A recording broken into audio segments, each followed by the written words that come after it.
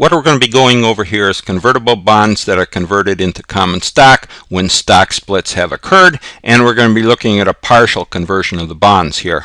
So for example here, Corporation A issued $5 million worth of bonds here, par value, at an 8% interest rate, and they're going to be 20-year convertible bonds here at 106, or they were issued here at 106% of par, and they were issued here on 11x1 when the common stock par value per share here was $30 per share, and the market price of a, a, common stock here was $80 per share. So point one here, the conversion option. Well, if you had a $1,000 bond here, you could convert it into five shares of common stock and point two here on 11x2 $30 par common stock was split two for one. And the conversion rate here of the bonds was adjusted accordingly.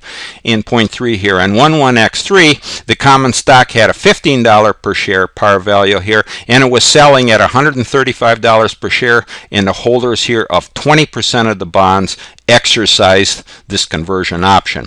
And we're looking at this $15 par value here, and that's based on the fact that on 11X2 we had that two for one split here, so there's twice as many shares outstanding here. So that $30 par uh, per share here has to be divided by 2 and it's reduced down to $15 per share par value here.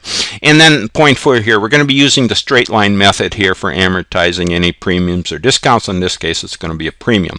And when we do this amortization here, we're not going to have to base it on any monthly allocation because we're looking straightly at this problem here as a straight uh, a per year basis here. They were issued here in 1X, 1X 11x1 and they're going to convert it here in 11x3 exactly two years later. And the other thing we're not going to be dealing with is any interest uh, costs here on these bonds. We're strictly going to be looking at issuing the bonds here and then converting the bonds and then we'll have to be dealing with only amortization here on that basis. So number one, the first thing we have to do is we have to calculate the bond premium that has to be amortized here. So uh, well, the amortization here, this bond premium. So the issue price, well, we had $5 million par uh, bonds here that were issued at 106% of par. So that equates to $5,300,000 worth of bonds.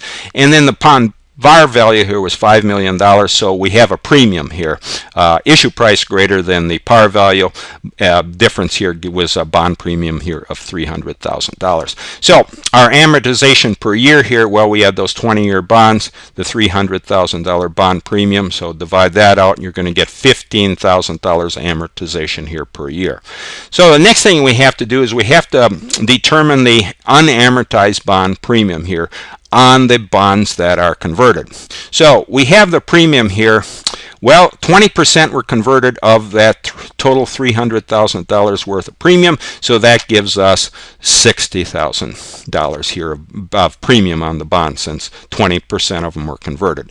Okay, so now we have to subtract out the, what we've already amortized on this premium for this conversion here. So we have 15,000 per year, two years here that we're amortizing since they were issued here on 11x1 and they converted on 11x3 exactly two years later. We take that times the 20% that were converted here. So that's going to give us uh, amortized amount here of $6,000. So unamortized bond premium, simply the difference here.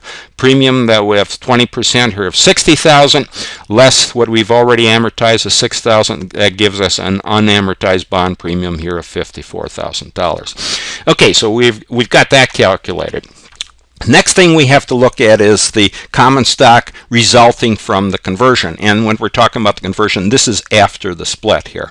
So our bonds that are convertible here on 11X1, well, we have $5 million par value total amount here divided by a $1,000 par here per bond. That's going to give us 5,000 bonds here that are convertible. Number of shares for each bond that we can convert here are five shares. Take that times the number of bonds here and a number of shares here that we can convert before the stock split here are 25,000 shares. Now the stock split comes along here on 11x2 and we have to adjust our conversion here for the uh, number that of our bond, of our shares here. So we have number of shares here before the split 25,000 times the split here where we two extra or two shares here, the split two for one. Take that times 2 here to 25,000. That gives us the number of shares convertible after the split here at 50,000 shares. Now, 20% of the bonds were converted, so that means 20% of those uh, shares here could be converted. So 20% of 50,000 here gives us the number of common stock shares that we would actually issue on this conversion here of 10,000 shares here. Now, the par value per share, well, we were sitting at $30 here before the split, so we have twice as many shares outstanding like we said before with that would reduce our par here from 30 down to $15 per share. So our par value per share at $15 here times the number of shares that would be issued on this conversion of 10,000 gives us our total par value or common stock issued here on 11x3 at $150,000 okay so now let's go and let's look at how we would record this conversion here. And again we're not going to be involving any interest charges or anything like that. We're strictly going to look at these this here. So we're going to record the issue here of the $5 million par value bonds here at 106%. And we're also going to record this conversion here, 20% of the outstanding bonds after the two for one stock split. Okay, so what when we make this conversion here, everything is going to be based on the book value, not the market value. I gave you the market value in the, for the problem here, but when we're doing these conversions, it's based on the book value.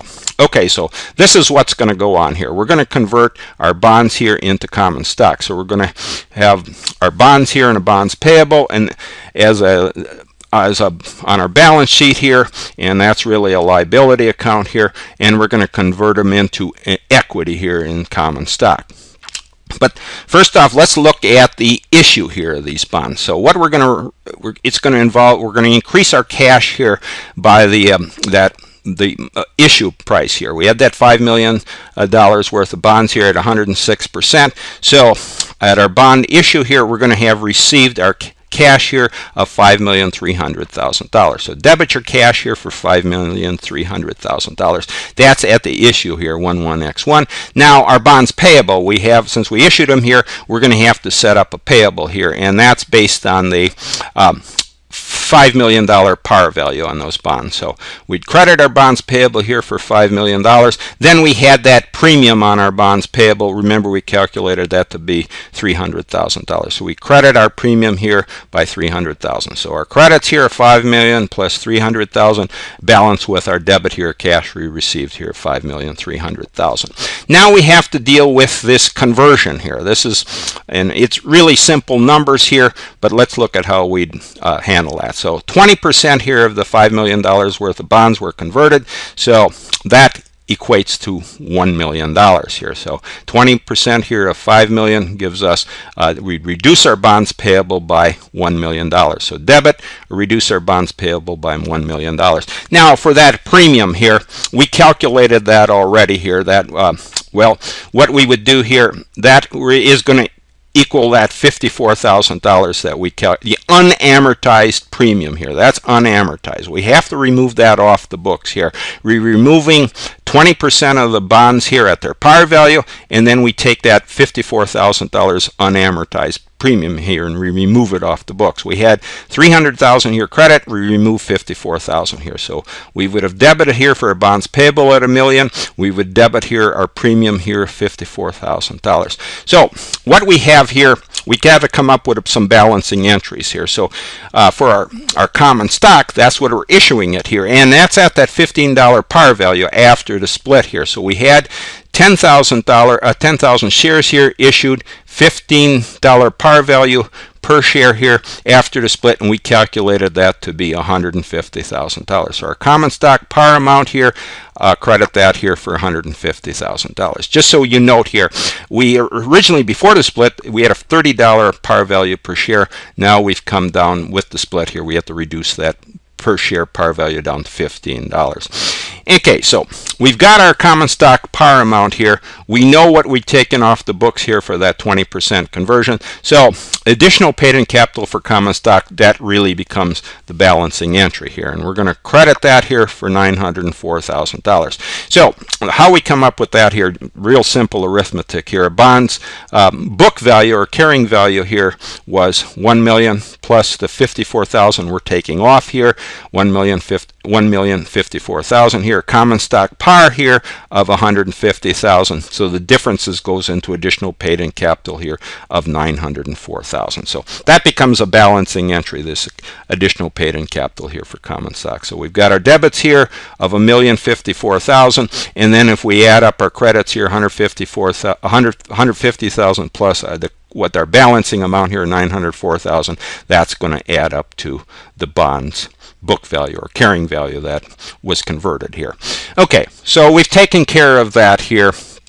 Just remember when you're doing, and what I've showed here, I didn't show any interest charges here, any interest costs on these bonds. All I'm showing is what we've, when we make our issue here, and then when we made that 20% here, the bonds that were converted. Just remember here, it's done at the book value, not the market value. We do whatever the book value is, and in this case for a common stock, we had to adjust that uh, par value of our common stock shares down here since the split, and we also had to adjust for the number of shares here uh, of common stock that would be uh, would be, would be exchanged here based on that uh, split here. When we increase the number of uh, uh, with the split here when we increase the number of shares that were outstanding with the split. So we have to adjust for our par value here and when we also had to adjust for the number of shares here that after the split. So that takes care of our entries here. Just remember here we were changing uh, exchanging here our bond which is um, a liability here and we were exchanging those for common stock or increasing our equity here in the company in our common stock account. And the additional paid in capital account here, that was really a balancing entry between whatever we took off the books here in our bonds payable and our premium to bonds payable and the amount here that we had in our par value here for our common stock. So that takes care of our uh, convertible bonds here that are converted into common stock when you have this stock split and also a partial conversion conversion here. We had only 20% of the bonds that were actually converted into common stock. All right, that takes care of our example here.